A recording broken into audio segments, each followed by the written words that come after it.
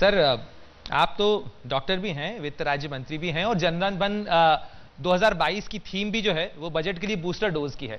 तो क्या health sector में बच्चों को बूस्टर डोज लग सके बच्चों को वैक्सीनेशन लग सके उसके बूस्टर डोज भी आ सकें?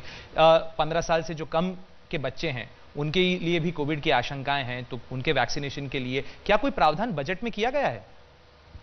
इसमें मैं पहले डॉक्टर बोल के डॉक्टर के बारे में बताना चाहता हूँ। कैसा है, कौन सा भी मेडिसिन अगर बाज़ार में लाना है, समझो वैक्सीन वैक्सीन का रिसर्च कैसा हुआ है? तो वैक्सीन का रिसर्च कैसा हुआ? वैक्सीन पड़े बन चुकी है और उसका क्लिनिकल ट्रायल्स लेते हैं। तो क्लिनिकल ट्रायल्स पहले एनिमल पे लेते हैं और एनिमल के बाद ह्यूमन पे लेते हैं। और ह्यूमन पे लेने के बाद उसको कुछ वॉलंटियर्स लेना पड़ता है तो ह्यूमन पे लेने के बाद ये वैक्सीन कितना सक्सेसफुल है, वो भी देखना पड़ता है।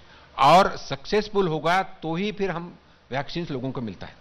तो अभी वैक्सीन की बात निकली तो वैसा ये जो क्लिनिकल ट्रायल्स है वो बड़े बच्चे बोल तो पंद्रह सौ अठारह साल उसके ऊपर क्लिनिकल ट्रायल्स हो चुके हैं। और जो छोटे हैं उम्र से छोटे वो क्लिनिकल ट्रायल्स चल रहे हैं।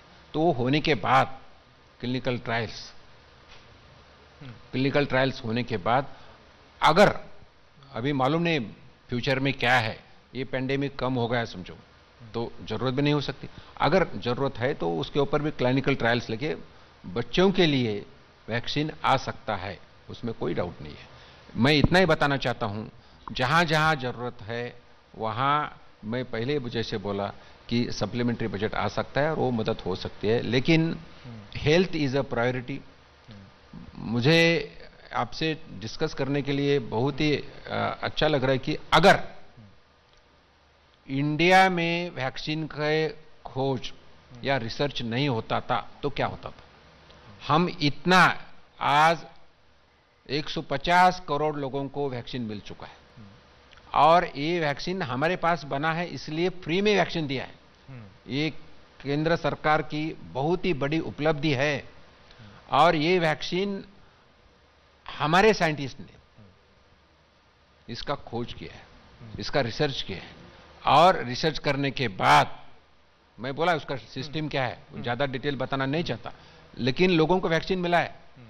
तो ये वैक्सीन आज 150 करोड़ लोगों को मिल चुका है। ये वैक्सीन अभी 15 से 18 साल के बच्चों को मिल रहा है और उसका छोटे बच्चों को भी मिल सकता है और उसका प्रोविज़न जो आपने पूछा है इसका कुछ प्रोविज़न प्रोविज़न भी इसमें हो सकता है। उसमें हेल्थ को प्रायोरिटी है। निश्चित रूप से तो कोविड की इस महामारी के दौरान चिंताओं को कम करने के लिए बच्चों के लिए भी आपने जो आश्वासन दिया उससे उम्मीद जगती है कि राहत मिलेगी कुछ सुकून मिलेगा और आपने सप्लीमेंट्री बजट की बात कह के थोड़ी उम्मीद और जगा दी है कि सरकार जेब के लिए भी कुछ राहत दे सकती है आने वाले बजट के सप्लीमेंट्री एडिशन में।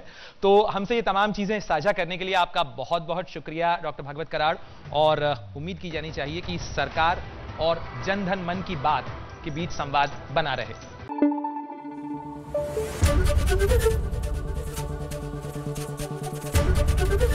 एबीपी न्यूज़ आपको रखे आगे।